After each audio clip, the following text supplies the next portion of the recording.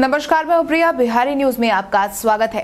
वर्तमान समय में आधार कार्ड बच्चों के आइडेंटिटी कार्ड की तरह हो गया है, जिस तरह स्कूली बच्चों को आइडेंटिटी कार्ड स्कूल से जुड़े सभी कामों के लिए दिया जाता था, वैसा ही हाल आधार कार्ड का भी है। आधार कार्ड कितना ज़रूरी है, ये आप केवल इस बात से समझ सकते हैं कि सरकार की तरफ़ से जारी की गई लगभग सभी योजनाओं का लाभ आपको तभी मिलेगा जब आपके पास आधार कार्ड होगा, क्योंकि केंद्र सरकार ने पीएम किसान सम्मान निधि योजना, पीएम जनधन योजना, एलपीजी सब्सिडी लगभग सभी कल्याणकारी योजनाओं का लाभ लेने के लिए इस एक दस्तावेज़ को अनिवार्य कर दिया है। साथ ही यह दस्तावेज़ इस बात का प्रमाण है कि आप भारत के नागरिक हैं। ऐसे में घर में बच्चे हो चाहे बूढ़े, हर किसी का आधार कार्ड अनिवार्य किया गया है।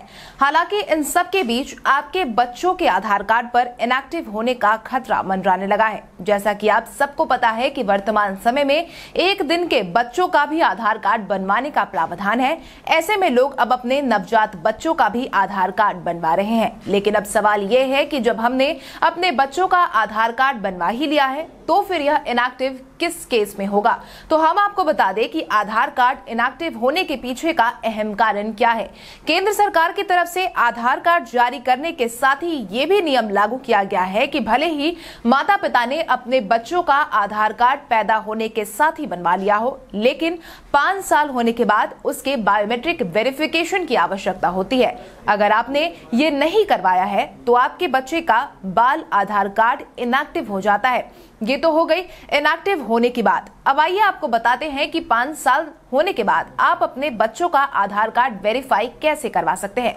इसके लिए अभिभावक निकटतम आधार कार्ड केंद्र जाकर बायोमेट्रिक कराने के लिए आप सीधा U K appointments dot U K link पर क्लिक कर सकते हैं और बच्चों के बायोमेट्रिक को अपडेट करा सकते हैं, जिससे आपके बच्चों को स्कूल के एडमिशन में कोई दिक्कत ना आए या किसी भी सरकारी कामकाज में आधार कार्ड इनएक्टिव होने के कारण आपके बच्चे का काम ना फंसे।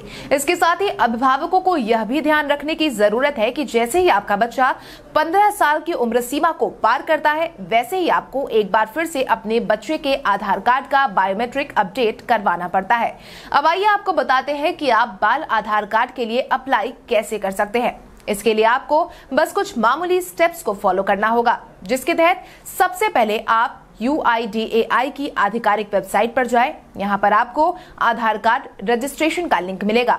आप उस लिंक पर क्लिक करें। लिंक पर क्लिक करने के साथ ही आपके सामने एक और पेज खुल जाएगा, जहाँ पर आप अपने बच्चे का नाम माता पिता का नाम समेत कई ज़रूरी जानकारी भर सकते हैं। इसी स्टेप में आपको पता लोकेलिटी जिला, शहर राज्य आदि की जानकारी भी भरनी होगी।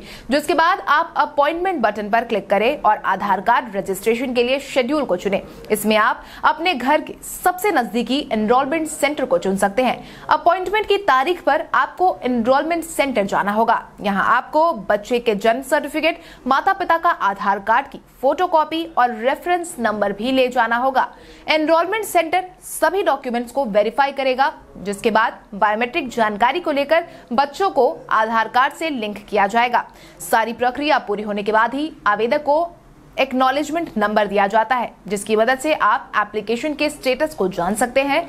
सात दिनों के बाद आपके रजिस्टर्ड मोबाइल नंबर पर एक एसएमएस आएगा। एनरोलमेंट प्रोसेस के 90 दिनों के अंदर आपको बाल आधार कार्ड भेज दिया जाएगा।